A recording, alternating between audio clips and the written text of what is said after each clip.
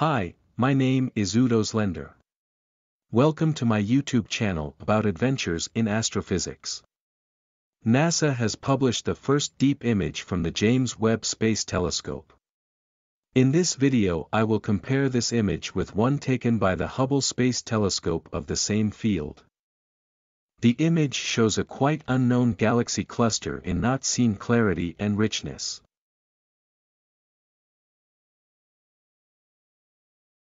The telescope's breathtaking launch was on Christmas 2021. Unforgettable.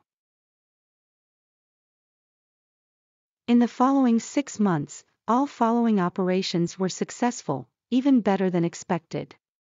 The telescope has cooled down to 40 Kelvin and the optics and instruments were calibrated.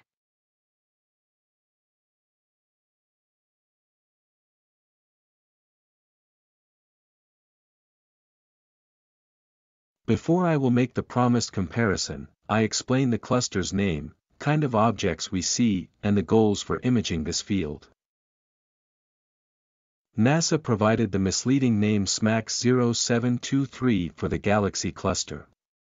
You will not find anything about it in the large astronomical databases NED or SIMBAD, the correct designation is SMACS J0723.3-7327 which sounds even more cryptic but wait, if it is explained, it gets clearer. MACS is the abbreviation for Massive Cluster Survey. The numbers that follow are the object's coordinates in the sky. The leading S stands for southern indicating the hemisphere on the sky. The Massive Cluster Survey contains a sample of more than 100 galaxy clusters, measured by the Rosat telescope to be bright in high-energy X-ray light. The goals of the MACS survey are to categorize and better understand distant massive galaxy clusters. Among the 100 found, the six brightest were further investigated. The goal in this Frontier Fields campaign with HST and the Infrared Spitzer Space Telescope was to see deeper into the universe than ever before. The Frontier Fields combines the power of HST and Spitzer with the natural gravitational telescopes of massive high-magnification clusters of galaxies to produce the deepest observations of clusters and their lensed galaxies obtained so far. Gravitational lensing enables Hubble to see fainter and more distant galaxies than would otherwise be possible. It is the essential warp factor that motivates the Frontier Fields project, one of the largest Hubble observation programs ever. The frontier, in the name of the project reflects that these images will push to the very limits of how deeply Hubble can see out into space. Galaxies behind the clusters experience typical magnification factors of a few, with small regions magnified by factors of 10 to 100. As the cluster SMACS 0723 lies too far in the south to be observed with the Keck telescopes from Hawaii, it was not selected to be among the handful of frontier fields. So no Spitzer infrared data are used for this cluster. Hubble's filter with the longest wavelength in the near infrared is the 1.4 microns filter. It allows it to reach galaxies at redshift 11, the absolute record up to now. Why infrared? For very high redshifts of 6 and higher, characteristic for the farthest objects from us, visible light is generally shifted into the near and mid-infrared part of the electromagnetic spectrum. For that reason, to see the first stars and galaxies, we need a powerful near and mid-infrared telescope, which is exactly what Webb is.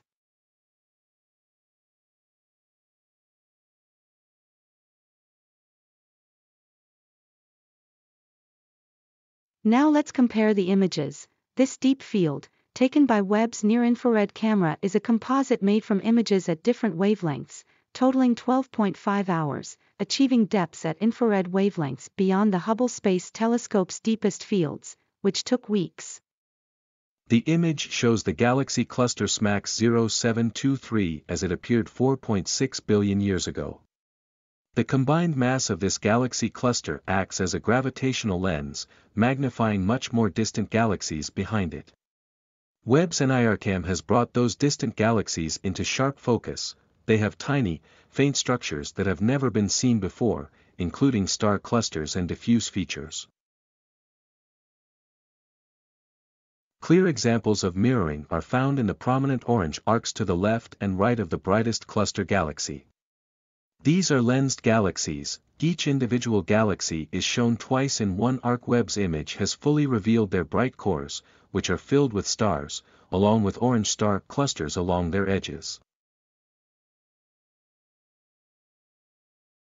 Not all galaxies in this field are mirrored, some are stretched. Others appear scattered by interactions with other galaxies, leaving trails of stars behind them.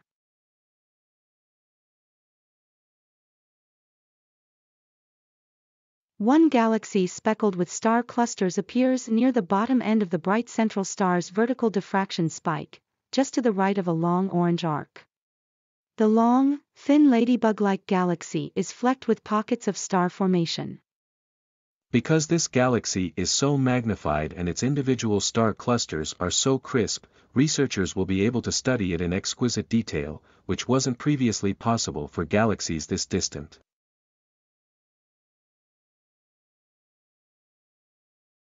The galaxies in this scene that are farthest away, the tiniest galaxies that are located well behind the cluster, look nothing like the spiral and elliptical galaxies observed in the local universe. They are much clumpier and more irregular. Webb's highly detailed image may help researchers measure the ages and masses of star clusters within these distant galaxies. This might lead to more accurate models of galaxies that existed at cosmic spring, when galaxies were sprouting tiny buds of new growth, actively interacting and merging, and had yet to develop into larger spirals. Ultimately, Webb's upcoming observations will help astronomers better understand how galaxies form and grow in the early universe. Now, without further comments, I blink Webb against HST. Enjoy!